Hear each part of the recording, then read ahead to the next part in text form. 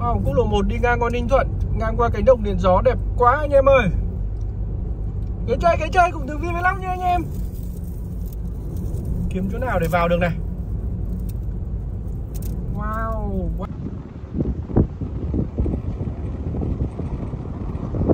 Đây gió to Anh em có thể nghe trực tiếp thấy tiếng gió.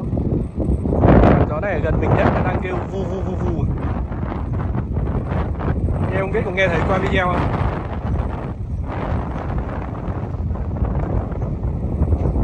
là nhiều trụ điện gió.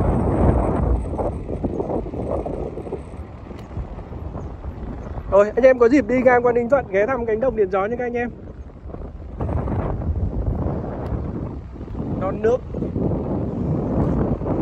Phong thủy hữu tình.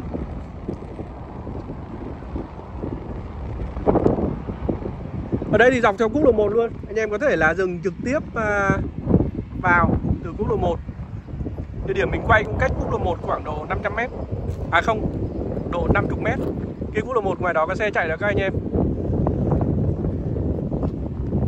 Rồi.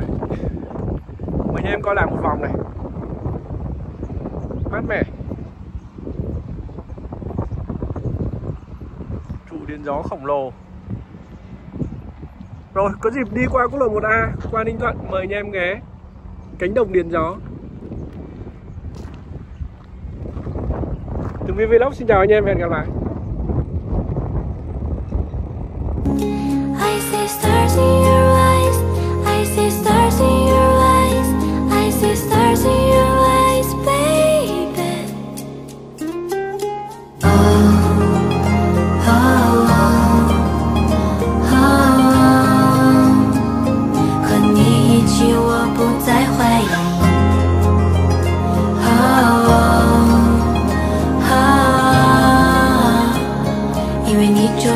我，我就是你。